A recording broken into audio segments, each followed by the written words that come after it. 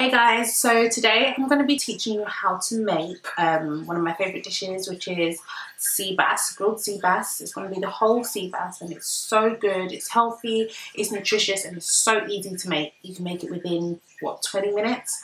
Um, I'm doing a step-by-step -step video. Hope you like it. Leave your comments below, make sure you subscribe and I'll see you later. Hey guys, welcome to my channel. My name is Alexis Oladipo.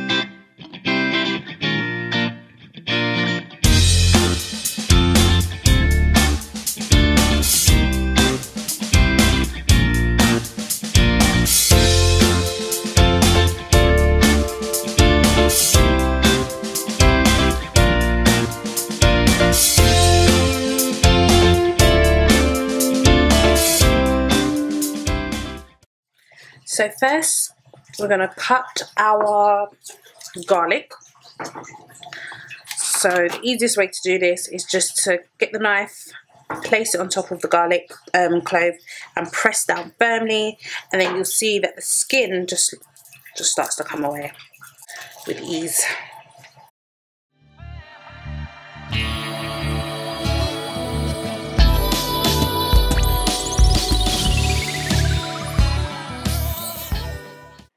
A dish without garlic is basically not a dish in my opinion. And if you don't like garlic are you sure you're not a vampire? Moving on to our ginger. We're actually going to grate our ginger. It just helps manage it a bit better and it gets all the flavors going. So let's grate.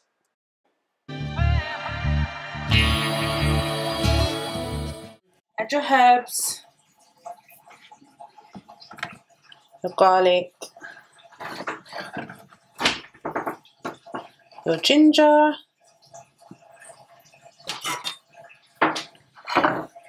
your dried mixed herbs, salt, which is pink Himalayan salt, chili powder, and black So what you want to do now is add a few drops of olive oil into your seasoning and mix until you get a thick consistency, like a thick paste.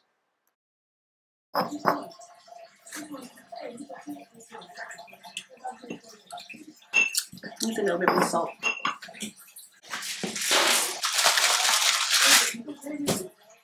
So once your seasoning is to its tasting, grab your knife and make sure you carefully score the fish down the sides. Repeat the process on the other side, and it just helps allow the seasoning to get into the fish, penetrating with more flavors.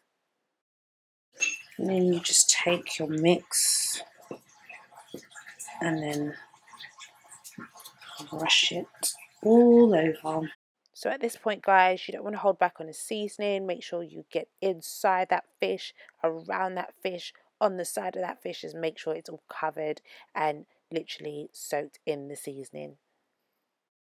And then your fish should look a little something like this. Ready, fully marinated to go into the grill. There's just one last thing that we need to do. Lemons.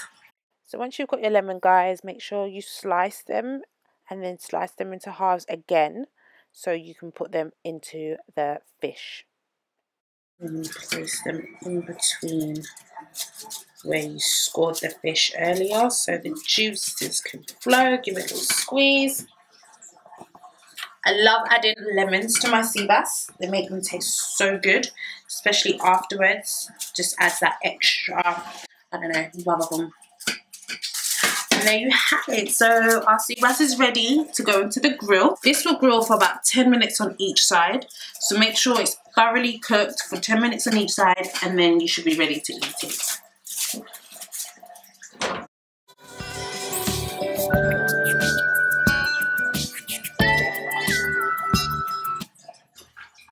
So there you have it guys, my delicious grilled sea bass recipe. I've decided to have it with some plantain um, with a side of lemon just to drizzle some flavour over the top and you know make them juices flow.